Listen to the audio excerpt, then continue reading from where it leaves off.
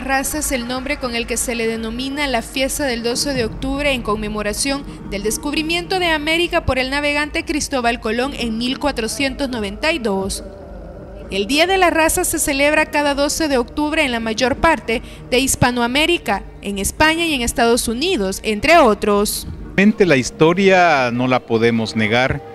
Eh, hubo un, una avenida de un almirante que se llamaba Cristóbal Colón a estas tierras, pero tanto así como la raza, tanto así como un descubrimiento, hoy modernamente pues esos términos se han superado ya con los estudios antropológicos, históricos, que eh, se van poniendo así de, moda. En tal sentido pues es que la raza eh, es un tanto muy despectivo y también eh, el saber que el de se descubre algo que no existe. Entonces, nuestro continente sí existía.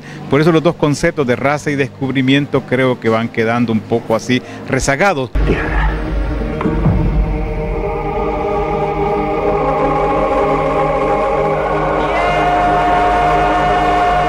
Pero en El Salvador se celebra esta fecha o al menos se recuerda este importante acontecimiento. Esa es la pregunta que muchos se hacen. no se celebra, se, hay muchos, como las comunidades indígenas, que le llaman también el Día de la Resistencia, ¿verdad? El Día de la Resistencia, o sea que es el día en donde nuestros, nuestros pueblos originarios manifiestan precisamente su rechazo a esos acontecimientos violentos que destruyeron quizás nuestra cultura. Pero bueno, son enfoques de cada uno de estos.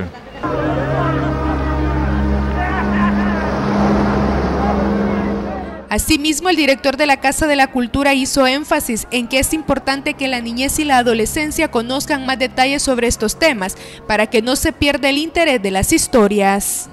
Claro, es de día importante, ¿verdad? Antes hasta hasta día de asueto nacional era el día, este día, ¿verdad?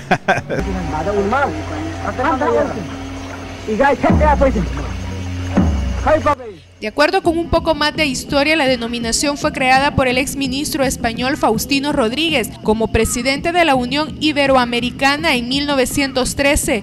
Pensó en una celebración que uniese a España e Iberoamérica, eligiendo para ello el 12 de octubre. En algunos lugares han surgido voces críticas hacia esta festividad por considerar que el descubrimiento de América y la posterior conquista por potencias europeas dio lugar a un genocidio por someter o destruir las culturas precolombinas sin diferenciar estrictamente ambos fenómenos. Adriana Andino, TVS Noticias.